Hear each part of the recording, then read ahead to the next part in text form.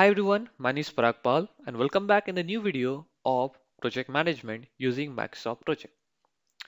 In this video, I'm going to discuss about how to manage the cost of each and every activity. If you manage the cost of each and every activity, you will get to know what is the exact cost or tentative cost required for the building construction. For that, you need to know about bill of quantity, abstract, measurement sheet and all. Okay, that is very important. Without that, you cannot further go for the exact calculations.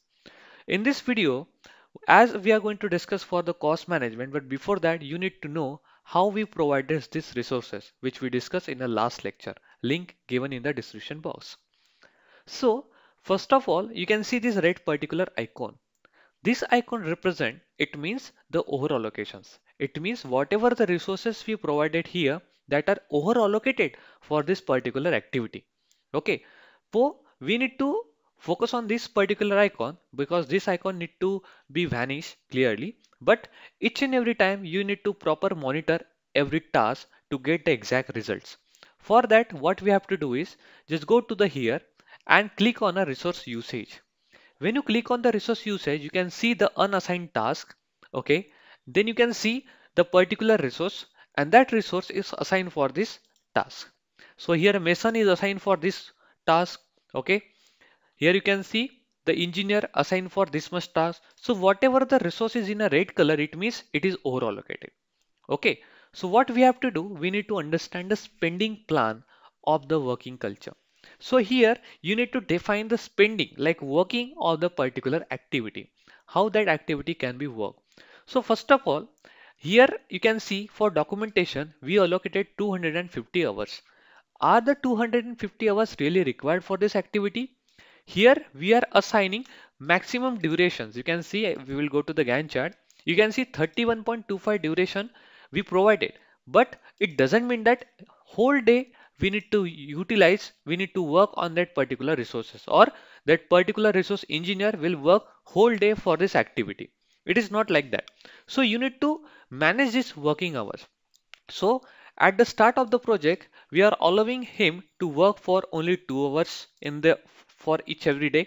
Okay, you can see we are allowing to work for him two hours. So you need to put the hours. Okay, like how much hours he will work. Okay, in next week also I'm allowing to work him like for two hours only not more than that okay after that in next month I'm allowing to working for one day only. That's it. Okay? Only one day. Right? And see we are allowing to working for only one day. You can drag like this also. No issue because this simple excel it is. Okay? We are allowing one day working. That's it.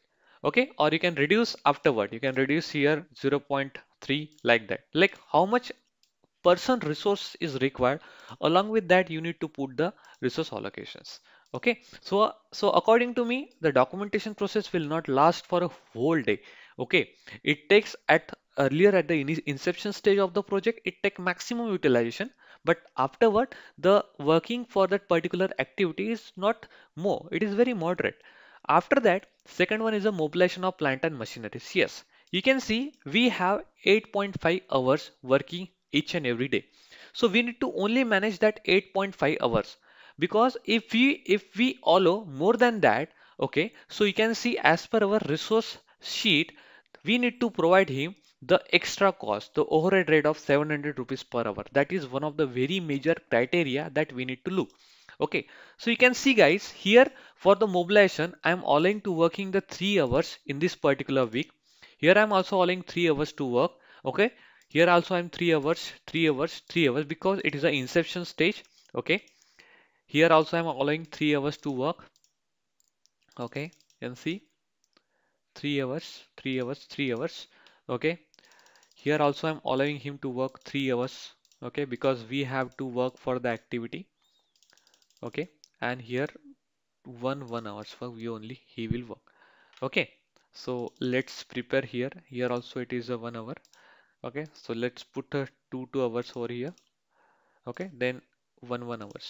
Okay like that. So graph should be in a s curve. The graph whatever you are preparing that should be in s format. Then and only then it it can work properly. Okay now you can see guys here as we provided three hours then we need to go for it. Now you can see the total work is required for this documentation work is 49 hours okay 46 hour. For mobilization we required 47 hours of this engineer person. If you if you want to reduce it you can reduce it. Now for making of column we required now you can see here if you can see properly okay the person like among 8 8.5 only 5 hours he is working. So rest he is blank he is ideal it means he is not working. So you can use that particular time for the other activity also okay? But now i'm keeping it as a blank. Now i am providing 3.5 year here. So you can see my 8.5 hours is totally utilized. Okay? So i am stretching this particular task. So you can see my I'm providing only 8.5 hours over here. Okay? So i'm providing 3.5 here also. Okay? Like this i'm providing the allocations. Now you can see 3.5 over here. Okay? Now you can see it is 2 over we need to put. Okay again same here. Now we can provide 3 we can provide 4.5 hours. Okay 5.5 hours over here. Okay let's put the maximum hours because he's not going to work. 6.5 okay like this right? Okay like this you can put. So along with that you get to know how much amount of time he is going to take for particular activity right? So similarly if you go to the particular Gantt chart, chart now so you can see the cost is reduced from 1 lakh 20,000 to 28,000 rupees. Okay? So before allocation it was 1 lakh 20,000 now it is 28,000 and the over allocation mark is also reduced. It means what? That the proper spending plan management is very important when you're looking for any particular construction activity so guys for today only we are stop here but you can see you can just go to the report. And if you go to the allocations resources okay so you can see the proper mason and engineer proper allocations you can see over here. If you go to the report you can see the critical task okay. If you go to the report you can in the resource format you can see the resource overview okay. You can see how engineer is allocated for which particular activity we are allocated okay okay start date finish date is already assigned. Remaining hours is over here. Okay so these all things we have assigned you can see the resources graph.